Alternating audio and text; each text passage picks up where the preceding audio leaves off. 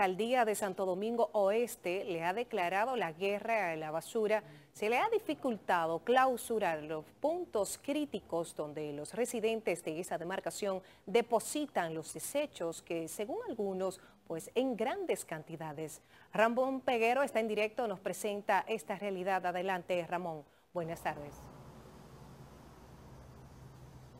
Gracias, eh, buenas tardes. A poco más de un mes de haber asumido el cargo, eliminar los vertederos improvisados en las diferentes calles de este municipio ha sido una tarea difícil para Francisco Peña, quien tampoco ha llevado a cabo el saneamiento de la cañada de Guajimía.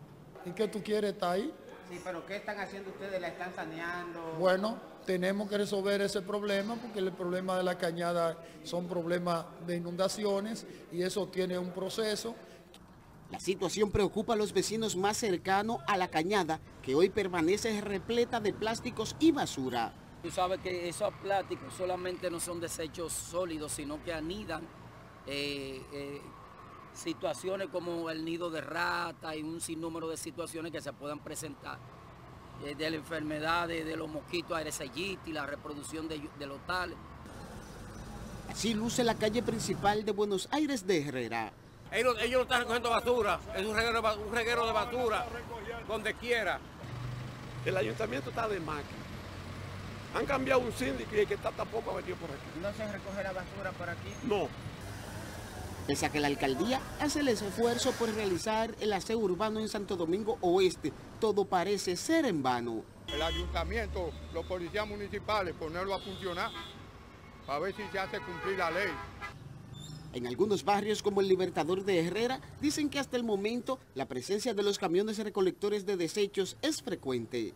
Últimamente sí, porque antes duraban hasta cuatro y cinco días y no venían donde yo vivo en yo la, recogen cada dos días o cada tres días la recogen. Francisco Peña apuesta que su demarcación será una de las más limpias del país. O de la bolita del mundo. ¿Con cuántos camiones cuenta la alcaldía? Bueno, nosotros eh, hay una compañía contratada que tiene alrededor de 27 camiones y el ayuntamiento cuenta como con 7 camiones pequeños y hay unos cuantos camiones, como 5 camiones grandes que están en reparación. El edil asegura que ha hecho las diligencias para ejecutar las obras que demanda el municipio. Estamos elaborando todo lo que sea necesario para el asfaltado de las calles, para resolver los problemas de drenaje pluviales, de la seguridad y resolver los problemas también del tránsito. Hemos hecho reuniones con AME.